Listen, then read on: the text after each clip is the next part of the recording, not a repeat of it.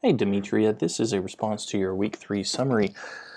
Um, to start with, uh, I like your discussion post. Um, uh, the big problem I've got is that you didn't respond to your, your classmates, um, which is a requirement. Uh, unfortunately, that's going to affect your grade.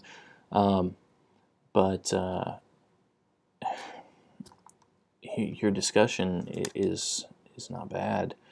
Um, I would have liked to see more uh, articles brought in and internal citations.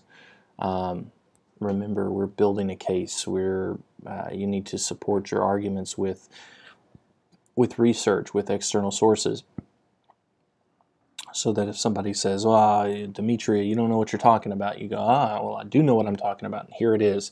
Um, you know, you've got some good points. I want to really see you drive them home, strengthen them, show people what you what, what you've got. Um, I want to address uh, a couple of these to, uh, to start with. Um, the biggest one I like is your discussion in paragraph, what is that, one, two, three, four, in your fourth paragraph talking about uh, commodification and the Barbie. Uh, you know, it's interesting. Barbie has, um, there's been a lot of discussion about Barbie. Um, you know, they've made a lot of changes. They've got now, uh, what, five separate lines of the actual Barbie doll um, with different body types. But um, the fact that they have basically kept the skin tones fairly similar um, under the Barbie name has uh, caused some controversy. They've got several different names for essentially Barbie dolls uh, with different um, races. The uh, Shani Shani um, doll is one ex uh, example.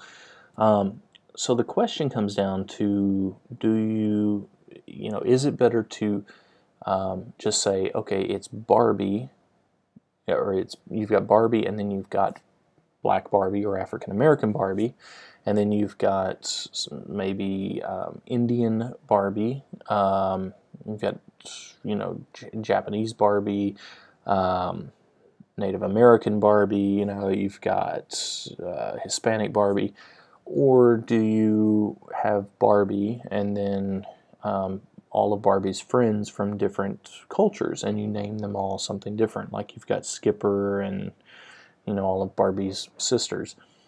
Um, I think there's arguments on both sides. Um, and I was curious to see what you guys would say on this.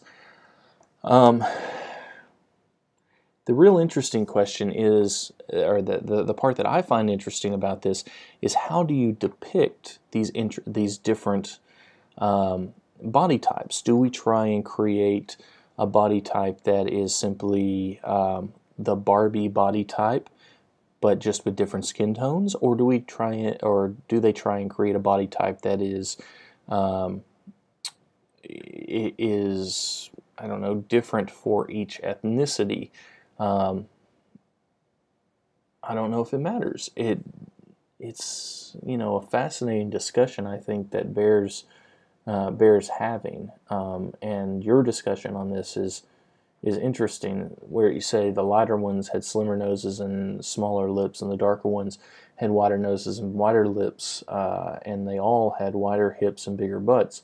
I do think this is an issue because for little children who have the dolls, they might see the separation of the dolls and correlate uh, it to the separation of whites and blacks in real life. Uh, the responses should be uh, should be people realizing that culture and race aren't uh, aren't a game, and no matter what, you can't buy a race or appropriate a race and then magically become part of a race. That is really um, you know a summarization of the problem that a lot of people have with this commodification of race and culture. So you've done a really good job uh, summarizing that. Like I said, the biggest problem I've got here is not is that you really need to bring in more sources and that you, you've got to interact with your classmates on this. Um, overall, not bad.